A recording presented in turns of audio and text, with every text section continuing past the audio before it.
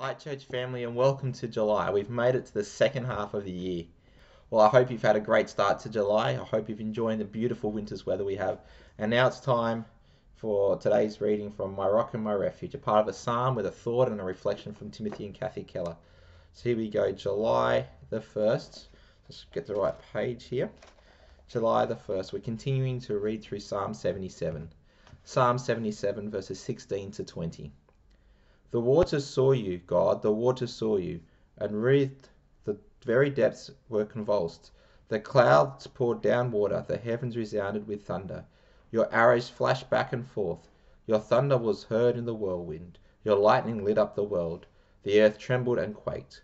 Your path led through the sea, your way through the mighty waters, through your footprints, though your footprints were not seen.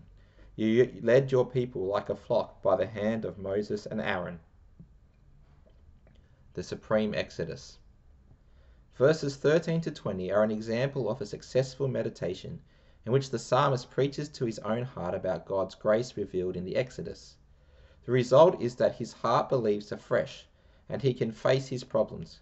Christians have a far better way to assure themselves that God will never abandon us or leave us. Jesus accomplished the greatest exodus of all, liberating us from ju- not just from social or political bondage, but from sin and death.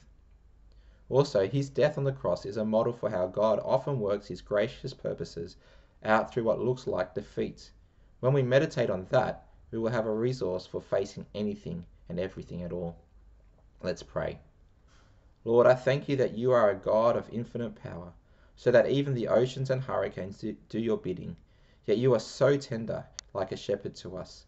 If the infinite power in the universe is our loving shepherd, then we can live fearlessly. Amen. Well, I hope you have a great, what is it, Wednesday night? Yeah, Wednesday night, and I'll catch you tomorrow. See ya.